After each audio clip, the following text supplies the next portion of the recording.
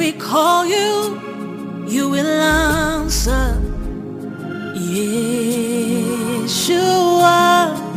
when we call you, you deliver. Yeshua, when we call you, you will answer. Yeshua, when we call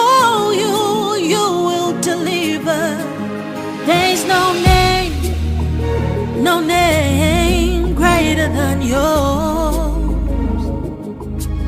Hello, all. Good morning. Trevis Dampier, Trevis Dampier Ministries, a disciple of the Lord Jesus Christ. Today is Friday, May 31st, and a dangerous Sabbath indeed as we are approaching uh, June. And this was the warning from Dana Coverstone that the second or part two would begin in June. And we are seeing all of the evidence that surely is about to uh, happen this June. So be braced for it.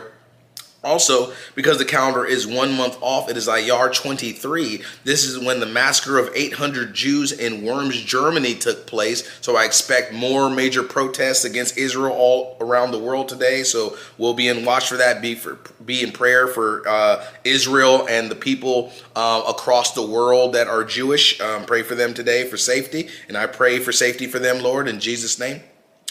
And then uh, on the Torah, it is Sivan 23. This is when Mordecai and Esther sent letters so that the Jews shall prepare themselves for the annihilation plan orchestrated by Haman to be committed against them on the 13th of the following Adar. So I believe that the Lord is warning us to get prepped um, for the annihilation plan that the enemy has against us. Um, and that the Lord is going to give us some prophetic word or letters per se to tell us how to prepare or to give us some prophetic word off of what is about to come. So um, I believe that is also coming today. We're going to talk about um, the U.S. giving Ukraine permission now in order to strike Russian territory. We will uh, hear about Russia actually finding out and giving information regarding the targets in Europe that they would strike if Ukraine uses their weapons against Russian territory.